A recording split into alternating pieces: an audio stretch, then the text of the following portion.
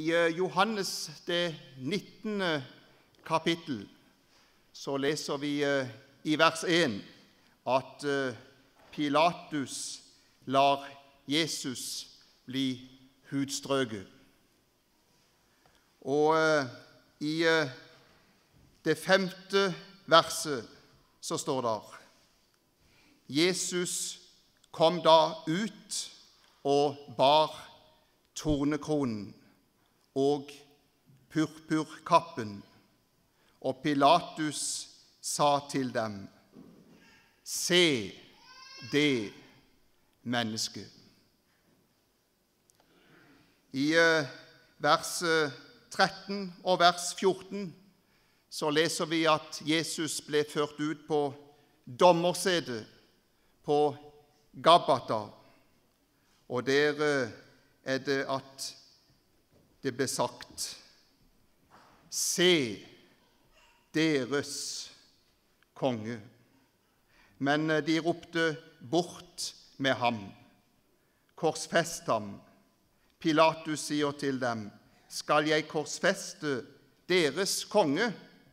Ypperste prestene svarte, Vi har ingen annen konge enn keiseren. Se det mennesket. Se deres konge, skal vi be sammen. Vi takker deg, trofaste himmelske Far, for også denne anledning som du har gitt oss til å bli stille innenfor deg og ditt ord og vi vil så gjerne se Jesus. At du kan åpenbare deg for våre hjerter som den du er. Takk, Jesus, at du er nettopp de håpløses håp. Du er de elendiges frelser og trøster. Vi takker for at du ønsker også å være vår venn. Vi vil, eh, Jesus, be om at du må få velsigne ditt ord for våre hjerter i denne kveldsstunden. Amen.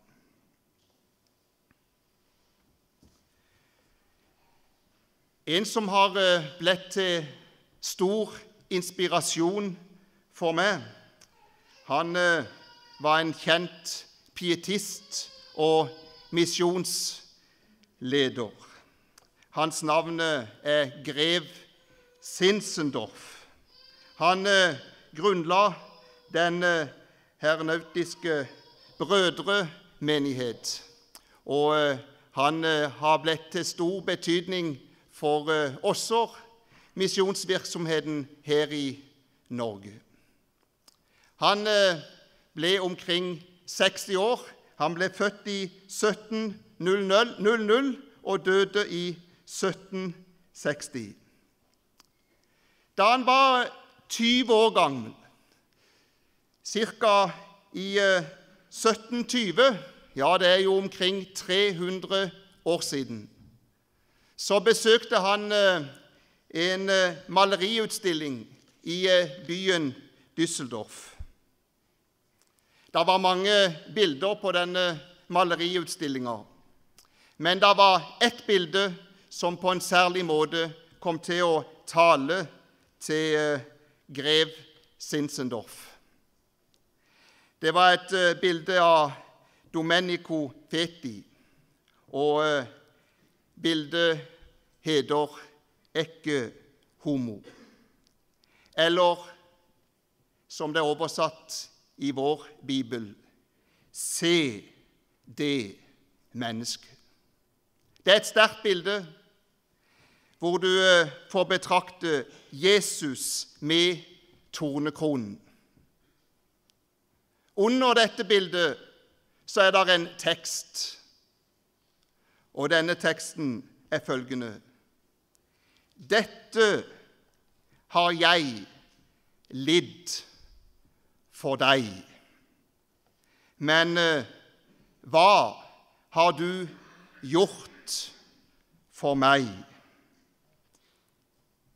Bildet og teksten ble skjellsettende for grev Sinsendorf. Og eh, i etterkant kom han til å formulere noen andre ord som er blitt berømt. Jeg har bare én lidenskap. Det er ham og ham alene. Se det mennesket. Se deres konge. Det er ordene som lyder i forbindelse med Jesu lidelse og død. Tre år tidligere så sto døperen Johannes frem ved Jordanfloden og pekte bort ifra seg sjøl og pekte mot den Herre Jesus. Og så sa han, Se der Guds lam som bærer verdens synd. Det hadde blitt slakta mange lam opp igjennom historien, både i tabernaklet og i tempelet. Men nå står han her, Guds lam. Og så innledes en vei som gikk imot Getsemane, imot Gabbata og imot Golgata. Og nå er han kommet her, opp til Jerusalem, for å lide døden i vårt sted.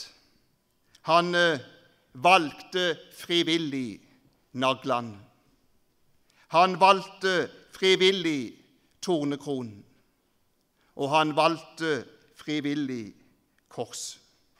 Han valgte den tornefulle vei i ditt og i mitt sted. Og så uh, sies det om han Se det mennesket. Ja, i Israel så var det et folk som ble bitt av dødelige slanger. Og da ble hengt opp en kobberslange, og så ble det sagt at de skulle se.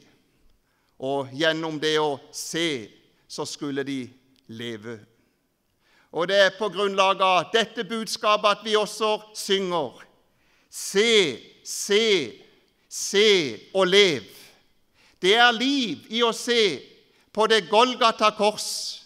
Ja, just nå er det liv òg for deg. Se på kobberslangen.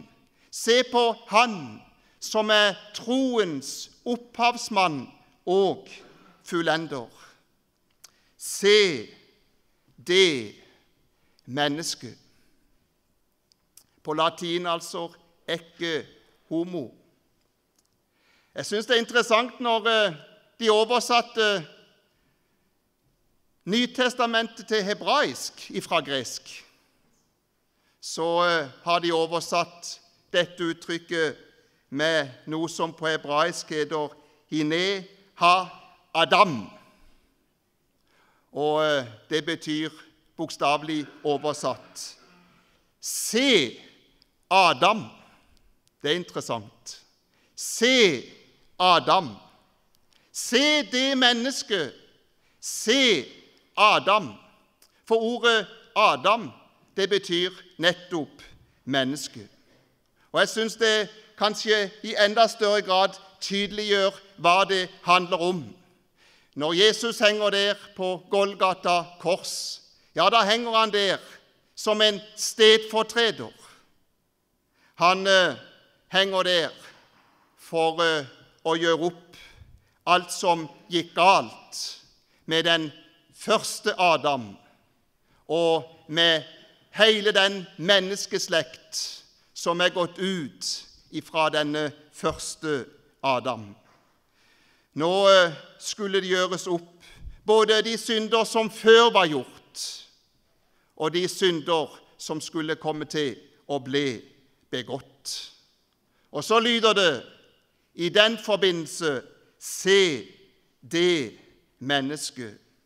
Se det mennesket, ikke homo, hine ha Adam. Se Adam.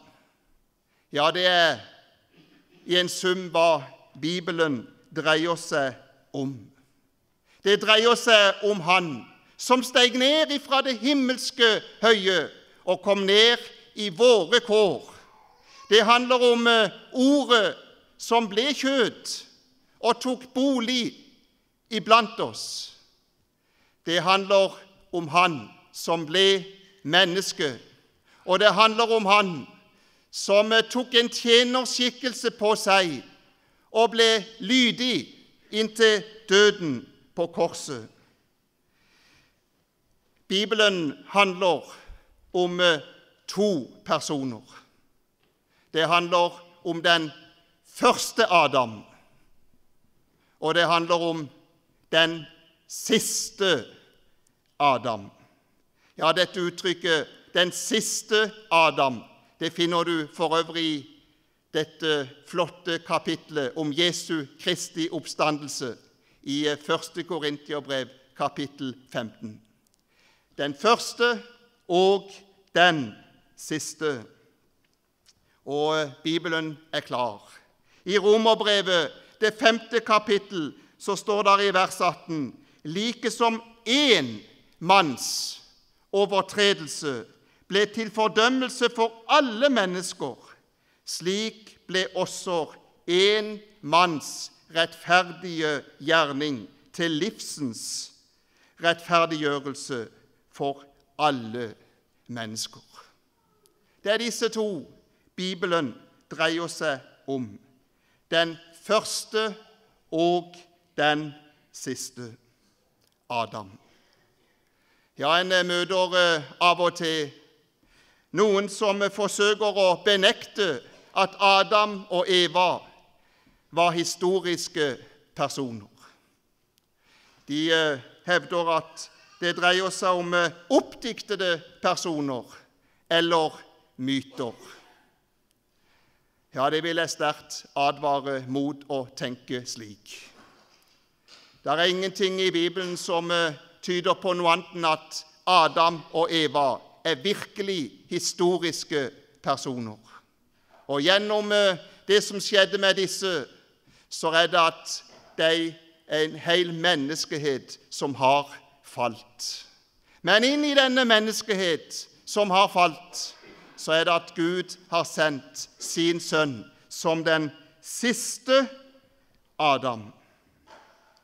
Så på samme måten som eh, det er en historisk første Adam, så er det ifra han ei slekt som eh, ender opp med den siste Adam, vår Herre og vår Frelser. Ja, i Eden så var det liv overalt. Men Gud, han advarte om død. Og så vet vi hvordan det gikk. Døden kom til å ta livets plass. Forbannelsen kom til å ta velsignelsens plass. Mennesket kom til å se nedover på grunn av synd og skam istedenfor å se opp og leve i et nært og fortrolig med Han som er vår skaper. Og så har vi fått den verden som vi kjenner så altfor, altfor godt, med synd og forbannelse og død. I dag har vi en situasjon som på en måte er helt motsatt av slik det var i Edens hage. Der er død overalt. Men eh, Herren, han taler om liv. Han taler om eh, Han som er veien, sannheten og livet. midt i en verden som preges av mørke, fortvilelse, forbannelse, synd og skam og død, så har vi et budskap om Han som er livets herre, om Han som er oppstått, den oppstandende Herre og Frelser. Og eh, i denne dødens verden så lyder det tro på den Herre Jesus, ja, så skal du leve. Der den første Adam falt, der sto den siste Adam. Og så er det at Herren forteller at på Han skal vi få feste vårt blikk. Se opp til Han som er troens opphavsmann og fullender. Se det mennesket. Se Adam. Og så altså på Gabbata Se deres konge. Det står i Matteusevangeliet i det 27. kapittel og de flettet en krone, en krone av torner og satte på hodet hans. Som konge bar han en krone, men det var altså en tornekrone som stakk, en krone som var fletta sammen av forbannelsens symbol. For du kjenner eh, hva som står i Første Mosebok. Da synden kom inn i verden, ja, så ble hele vår jord også lagt under forbannelse. Og så leser vi om hva som kom til å kjennetegne denne jord, som er under forbannelse. Torner og tisler skal den bære. Så tornen, det er forbannelsens symbol. Tornebusken, det er forbannelsens eh, symbol og inn i denne verden, som nettopp er under forbannelsen, så ble det reist et kors, hvor det var en som ble nagla til et kors i ditt og i mitt sted. Og det var den tornekronede konge. Han eh, gikk inn under forbannelsen i vårt sted. Du, der er en sang som jeg kjenner rører ved hjertestrengene. Jeg syns den er så klar og tydelig til å forstå. Det skjønneste i verden som mine øyne så, er kongen i hans skjønnhet med tornekronen på. Se det mennesket Hvorfor henger han der? Hvorfor eh, opplever han forbannelsen? Jo, det er for at du og meg, som er under forbannelsen, skal få oppleve Herrens forunderlige velsignelse. Og hvor vi har grunn til å se på Han, betrakte Han, ble opptatt med Han. O hode høyt forhånet med blodig sår og ved, o hode torne kronet, til smerte, spott og spe, o hode som var hedret og tilbedt inderlig, men nå så dypt fornedret, vær hilset hjertelig. Og så er det som følge av dette at vi eh, får et glimt inn i den himmelske verden, hvor vi leser om en stad uten forbannelse, uten død, uten smerte. Ja, det eneste som eh, er igjen fra denne forbannelsens verden, det er to naglemerkede hender. Se det mennesket ja, Det står noe om det også i profeten Jesaja, hvordan Herren skal oppfylle det. Da står det i Jesaja det 55. kapittel, i vers 13. Og det er alt sammen knytta til korset, til den tornekronede konge. Det står i stedet for tornebusker skal det vokse opp sypresser. I stedet for nesler skal det vokse opp myrter. Det skal være til et navn for Herren, til et evig tegn som ikke skal bli utslettet. Korsets tre, det er livets tre. Det var der han ble hengt. Kristus kjøpte oss fri fra lovens forbannelse ved at han ble en forbannelse for oss. For det står skrevet:" Forbannet er hver den som henger på et tre. Ja, jeg skal si tornen stakk. Hvorfor stakk tornen? Jo, det var for at du og meg skulle få oppleve det herlige budskap, også fra 1. Korintiabrev, kapittel 15. Død, hvor er din brodd? Død, hvor er din seier? Se det mennesket. Se Adam. Og så har jeg lyst til avslutningsvis å minne om en i blant oss som møtte Jesus i denne forbindelse.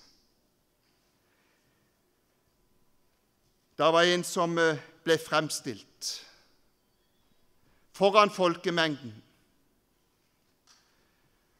som eh, bar navnet Barabas. Navnet Barabas det betyr fars sønn. Eller vi kan si det sånn underforstått Adams sønn. Barabas, denne forbryteren, denne kjeltringen, vi møter han som en representant for den første Adams slekt. I han så ser vi på et vis hele menneskeslekta. Far, sønn, Adams sønn. Og eh, han er, står der som en representant for alle mennesker, uten unntak. Og så eh, blir det stilt spørsmål hvem skal vi gi fri? Barabas eller Jesus? Og det blir ropt gi oss Barabas fri. Og til Jesus ropte de 'korsfest, korsfest'. Og så ble kongen korsfestet. Vi ser eh, igjen hva det dreier seg om. Bibelen to personer. Den første og den siste. Den første Adam og den siste Adam. Og så eh, leser vi i vår bibel at Jesus ble bonden. Ja, de bandt min Herres hender. Mens han som var bonden, Barabas, han ble ført ut i frihet. Så den dagen Jesus ble bonden og ført til Golgata, det var den dagen Barabas ble ført ut i en forunderlig frihet. Ja, det var vel kanskje det mest uventa han noen gang kunne ha møtt. Ja, Guds frelse, jeg skal si den er uventa.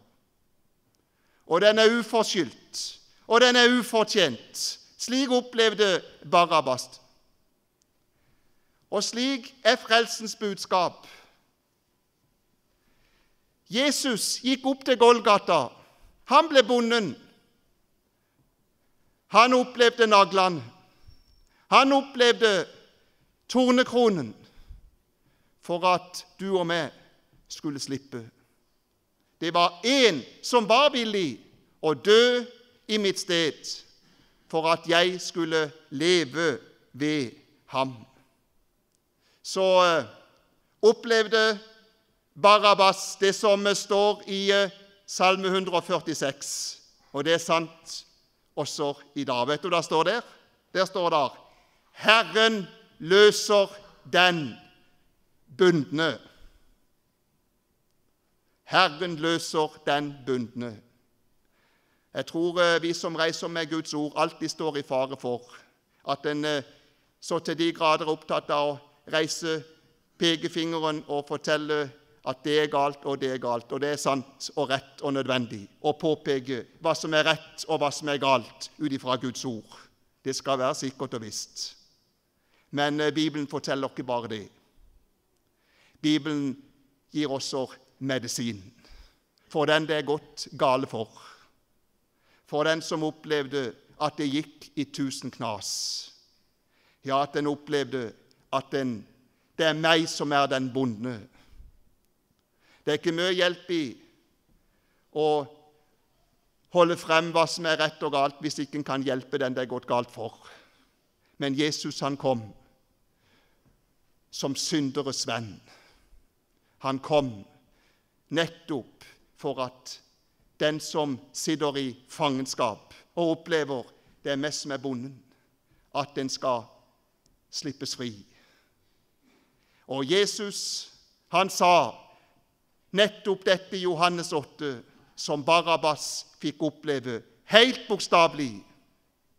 For da Sønnen frigjort dere, da blir dere virkelig fri. Jesus er en virkelig frelser for virkelige syndere. Skulle du eh, få rette blikket på Han enda en gang nå i kveld, eller kanskje det var for første gang Betrakte Han og undre deg over dette spørsmålet hvorfor henger han der, blodig, tornekronet og slått?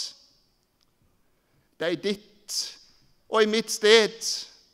Det er derfor han hang der. Det var for dine synder og for mine synder.